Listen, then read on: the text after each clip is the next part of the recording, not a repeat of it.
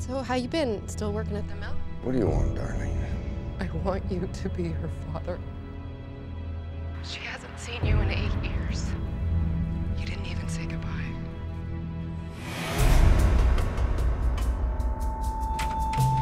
Hi, kiddo. Why are you here? I wanted to see you.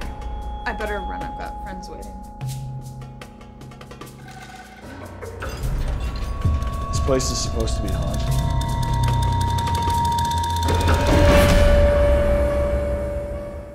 Daughter is missing.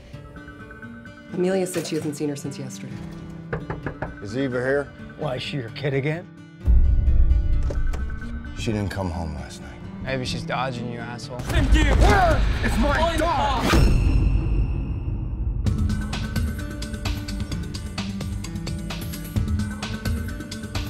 Our daughter was here on your grounds with friends. She didn't come home. If your daughter was here, she isn't now. Or And I have to go. you remember me, don't you, Bob? Look at yourself. You can't pass out there much longer. Eva needs me. They won't understand. Have you seen her? What are you? What do you know about young girls who go missing around here? Hey, I don't care if she's sick. What do you mean? She's sick. She's like you.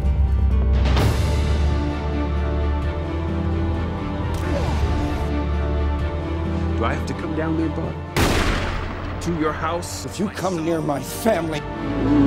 Where is she?